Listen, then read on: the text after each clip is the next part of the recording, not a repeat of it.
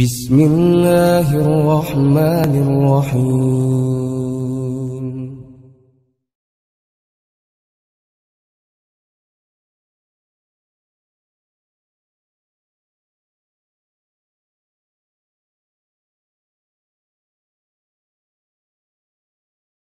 الحمد لله نحمده ونستعينه ونستغفره wa na'udzu billahi min shururi anfusina wa sayyiati a'malina. May yahdillah fala mudhillalah wa man yudlil fala hadiyalah Asyhadu an la ilaha illallah wahdahu la syarikalah wa asyhadu anna Muhammadan abduhu wa rasuluh. Amma ba'du. Ikhwatu iman yang dirahmati Allah Subhanahu wa taala. Alhamdulillah kita masih diberi kekuasaan oleh Allah, kekuatan, kesempatan untuk tetap menjaga akidah kita berada dalam akidah sarimah. Akidah yang diridhoi oleh Allah Subhanahu wa taala mengikuti tuntunan dari Rasulullah sallallahu alaihi wasallam. Bahasan kita kali ini memasuki kepada ayat 45 dan 46 surat Al-Baqarah. Yang mana pada ayat ini Allah Subhanahu wa taala mengingatkan kepada manusia tentang berbagai hal yang telah dijelaskan dalam beberapa ayat sebelumnya yang membicarakan tentang Bani Israel dan perilaku mereka. Allah berfirman, A'udzu billahi minasyaitonir rajim. Wasta'inu bis sabri was salah wa innaha lakabiratun illa 'alal khashiin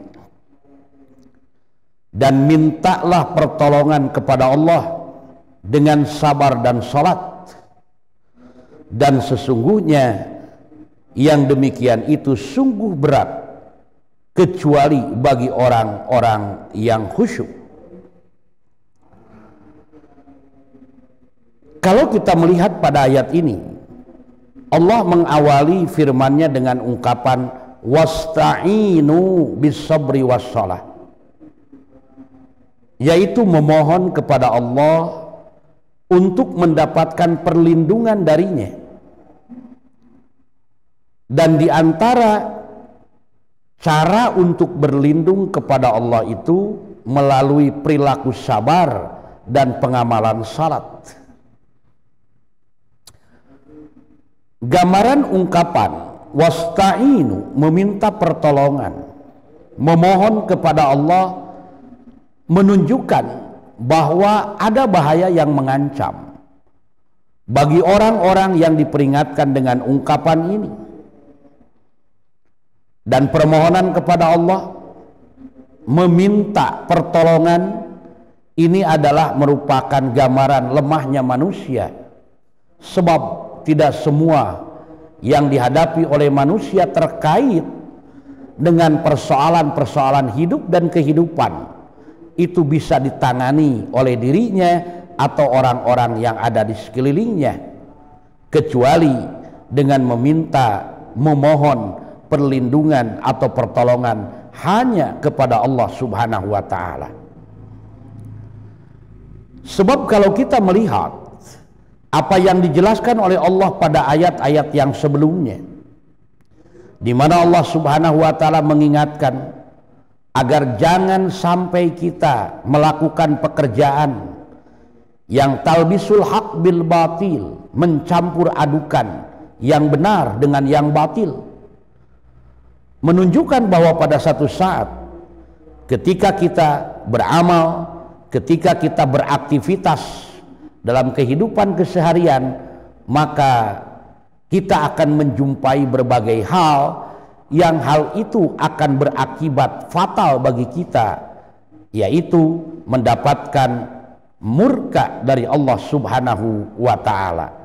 Oleh karenanya wajar dan pantas kalaulah kita memperhatikan apa yang dinyatakan oleh Allah dengan ungkapan wasta'inu bis sabri wassalah dan mintalah pertolongan kepada Allah dengan cara sabar dan melakukan salat. Pada ayat ini Allah menggunakan kalimat dalam hal meminta pertolongan seorang hamba kepada Rabbnya, seorang hamba kepada Tuhannya dengan kalimat yang khusus.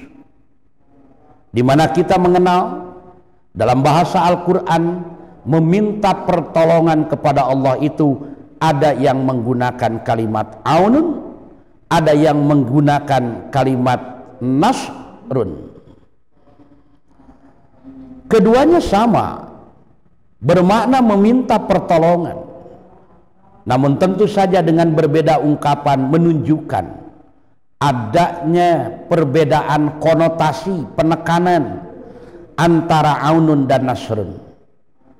Atau dengan kata lain, aunun itu adalah isti'anah yang di dalam Al-Quran kita temukan antara lain selain pada surat Al-Baqarah 45 ini juga terdapat pada surat yang sebelumnya yaitu pada surat Al-Fatihah yaitu dengan ungkapan dan pernyataan dengan ungkapan kata yang berbeda.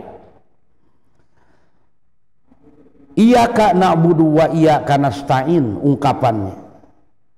Artinya melindungkan diri kita kepada Allah Subhanahu wa taala atas berbagai hal yang akan mengganggu pikiran, mengganggu hati, berakibat pada amal kita. Apa bedanya antara aunun dengan nasrun? Aunun dan nasrun bedanya adalah seperti contoh. Ketika ada orang yang mengatakan kepada seseorang seperti ini, "Nak, tolong Bapak untuk menggeserkan meja ini memindahkan meja ini. Maka dalam pelaksanaannya bukan hanya orang yang diminta pertolongan tapi orang yang meminta tolong pun dia ikut aktif untuk melakukannya dengan cara bersama-sama menggotong meja tersebut untuk dipindahkan. Yang seperti itu adalah istilah yang digunakan dalam bahasa Al-Quran dengan sebutan aunun atau isti'anah. Sedangkan berkaitan dengan nasrun, nah, ungkapan nasrun ini adalah hak prerogatif Allah nantinya. Dalam arti bukan tidak ada campur tangan manusia, namun untuk mewujudkannya berkaitan dengan nasrun minallah ini nanti Allah yang akan memberikan tanpa kita meminta. Seperti halnya tadi, ketika kita meminta untuk memindahkan meja, maka kita pun aktif untuk melakukannya. Artinya akan tercapai sesuatu yang diinginkan dengan meminta pertolongan kepada orang lain, manakala kita aktif ikut di sana untuk mewujudkannya. Yang seperti itu adalah isti'anah atau aunun.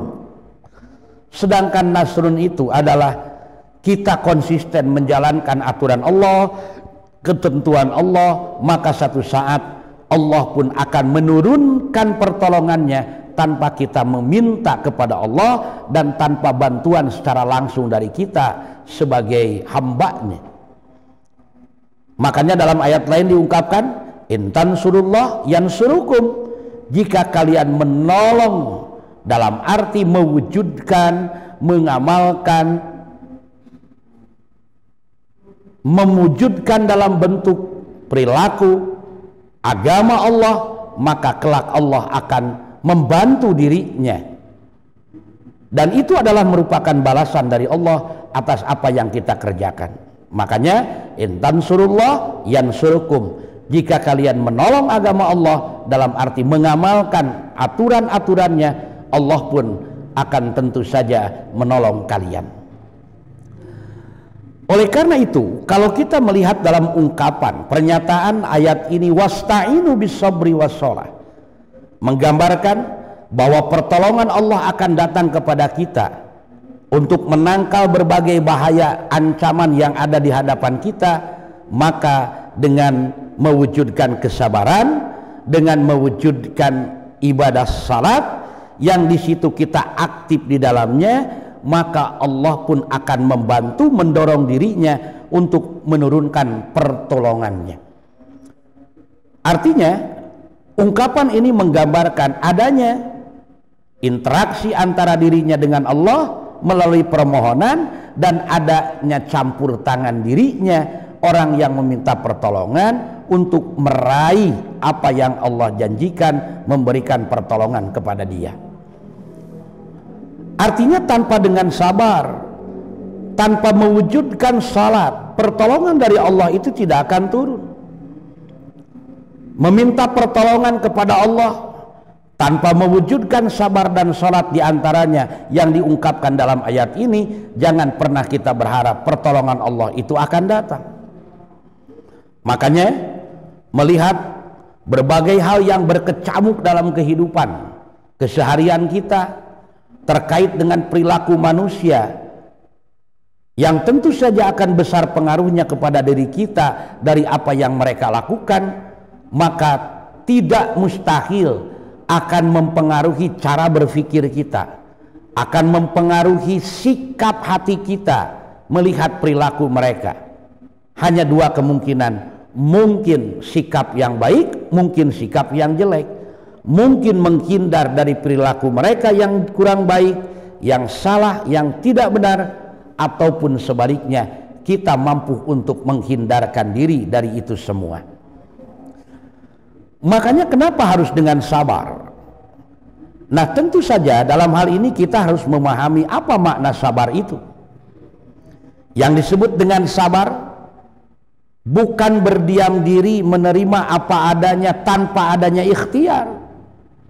Di kita sering kali yang disebut sabar itu berdiam diri menerima apa yang terjadi tanpa ada ikhtiar dari diri kita. Padahal bukan demikian yang disebut dengan sabar seperti yang diungkapkan oleh Imam Al-Maraghi adalah as-sabru itu habsun nafsi ala ma tukrahu au huwa ihtimalul makruhi binauin minar ridha wal ikhtiyari wa taslim yaitu menahan jiwa atas perkara yang tidak disenangi atau menahan diri ketika terkena sesuatu yang tidak disenangi dengan cara ridho ikhtiar dan menerima apa adanya. Artinya menerima apa adanya itu adalah merupakan bagian terakhir. Karena semua itu sudah menjadi kodo dan kodar dari Allah subhanahu wa ta'ala. Oleh karena itu ikhwatu iman yang dimuliakan oleh Allah subhanahu wa ta'ala yang disebut dengan sabar itu adalah ketika kita menghadapi satu persoalan, maka hadapi persoalan itu. Terutama dengan persoalan-persoalan yang tidak menyenangkan, persoalan yang bertentangan dengan aturan, bukan dihindari dalam arti kita tidak mau tahu, dihadapi dengan sikap-sikap yang mana kita menolak hal itu kita hadapi dengan cara-cara yang dibenarkan oleh Allah Subhanahu wa taala. Kita ikhtiarkan dengan cara yang sesuai. Kemudian kita pun ridho dengan apa yang terjadi dan ketika hasilnya seperti yang telah Allah tentukan baik menjadi menyenangkan ataupun tidak menyenangkan sesuai atau tidak dengan kehendak kita yang seperti inilah yang disebut dengan kodo dan kodar dari Allah subhanahu wa ta'ala. Makanya berkaitan dengan hal inilah seorang mukmin mendapatkan nilai dari Rasulullah sallallahu alaihi wasallam di mana seorang mukmin dia akan menghadapi seluruh persoalannya dengan kesabaran menghadapi seluruh persoalannya dengan ketenangan tidak terburu-buru, tetap mengikuti aturan yang seperti itu disebutnya sabar. Artinya, ketika kita menghadapi sesuatu yang tidak menyenangkan, maka menghadapi persoalan itu harus tetap ada dalam jalur yang telah Allah tentukan.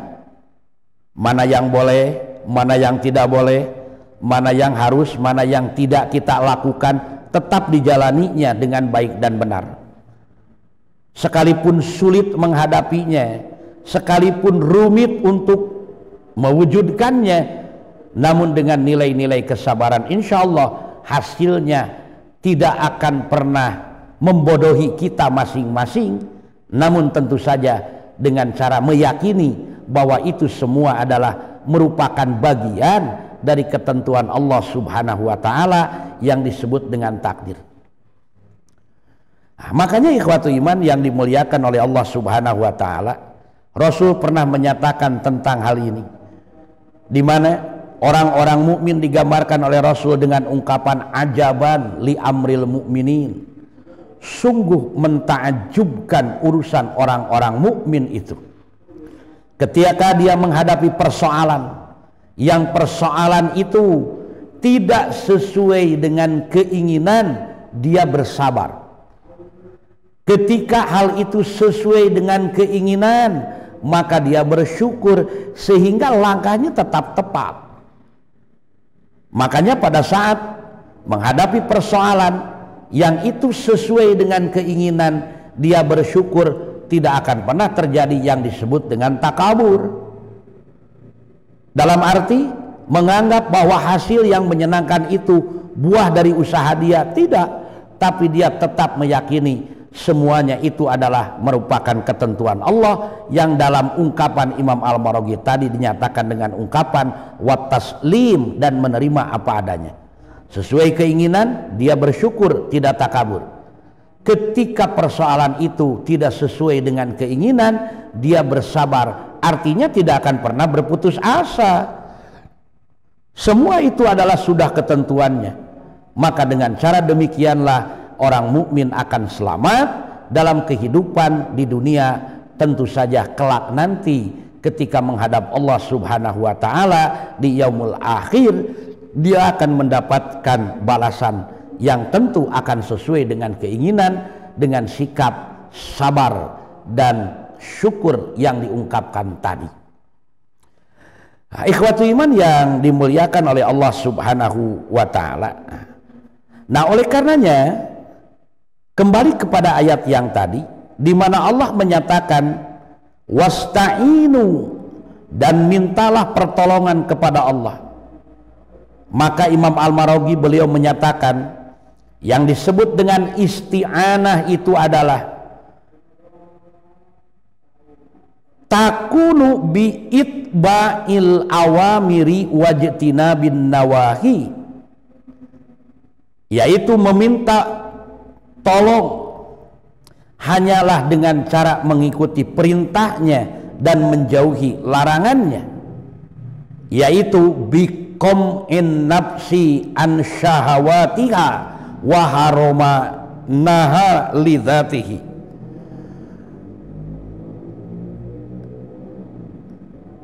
selain menjauhi larangan juga dengan menahan diri dari ajakan syahwat.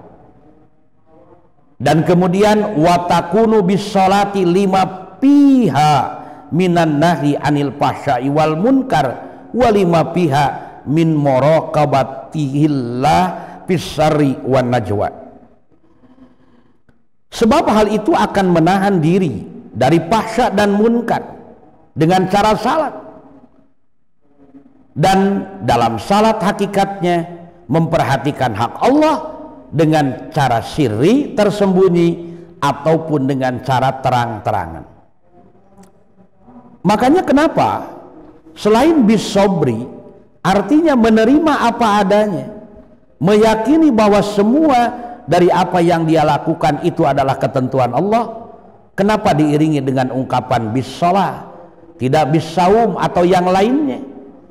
Sebab ibadah sholat merupakan tonggak menjadi ukuran bagi amal seseorang Makanya dalam ungkapan lain jika beres salatnya, beres segala amalnya, bisa rusak salatnya, rusak seluruh amalnya. Artinya amal badaniyah sholat inilah yang kemudian nanti akan menjadi tolak ukur seseorang. Sehingga dengan sholat di mana dinyatakan dalam ayat lain bahwa sholat itu tanha anil pasya iwal munkar akan mencegah seseorang dari berbuat pasya dan munkar. Perbuatan-perbuatan yang jelek yang menentang ajaran dan ketentuan Allah serta Rasulnya. Pasya dan munkar dua ungkapan yang Allah nyatakan merupakan kejelekan yang akibatnya fatal bagi orang yang terkena dengan perbuatan itu. Namun dengan sholat yang khusyuk dengan sholat yang baik dan benar pasya dan munkar akan terhindari seperti yang dilakukan oleh orang-orang ahli kitab khususnya orang-orang Yahudi yang dijelaskan pada ayat yang lalu.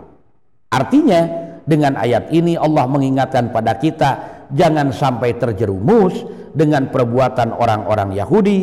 Jangan seperti orang-orang Nasrani atau ahli kitab dalam ungkapannya kita melakukan pekerjaan itu. Kenapa? Karena akibatnya akan menjadi fatal bagi diri kita masing-masing. Makanya ayat ini hakikatnya memberikan arahan kepada kita agar berhati-hati dengan menggunakan media sabar dan media sholat untuk menghindari dari pahsya dan munkar.